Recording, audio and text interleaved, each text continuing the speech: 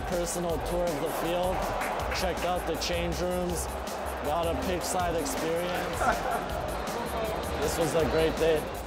There's truly no words to describe this type of experience, but just unreal. I've seen some of the videos up on the Gatorade website and some of the stuff you do, brilliant. Application then in the bigger picture becomes very key. And that's what it's about today, giving you that edge. Well done. The edge that we're gonna try and give you is can you add to your awareness? Do everything that you're doing, but can you do it being aware of what's around you? Persevere, persevere, persevere, put the effort in. So it's not all about the ability, it's about your attitude as well.